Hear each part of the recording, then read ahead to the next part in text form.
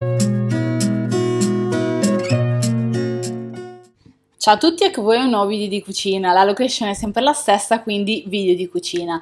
Oggi abbiamo fatto due nuove ricette e partiamo subito con una. Questa ricetta è un po' particolare perché eh, si chiama peperoni strani, perché appunto ho utilizzato i peperoni come ingrediente principale e un altro un po' particolare in più ho fatto un mix insomma non lo so a me è piaciuto oltretutto strabuono nel senso che me lo sono mangiata per pranzo quindi buonissimo. Fatemi come al solito sapere cosa ne pensate fatemi sapere se riproducete la ricetta con l'hashtag kitchen fashion e ricordatevi che i peperoni fanno benissimo. Vi do un consiglio che comunque vi dirò anche nel video.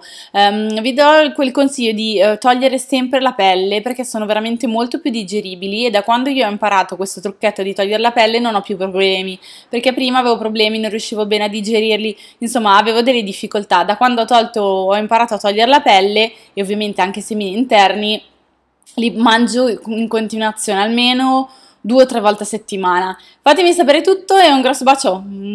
Ciao!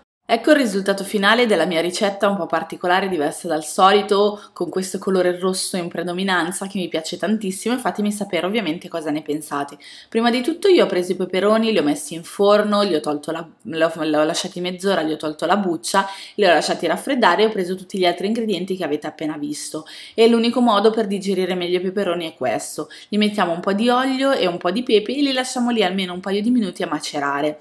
Prendiamo l'aceto di vino, lo mettiamo in un contenitore, io ho messo questo che è carino e ne ho messo tre cucchiaini. Ho preso la cipolla, io ho preso quella suggelata, voi potete utilizzare anche la cipolla fresca.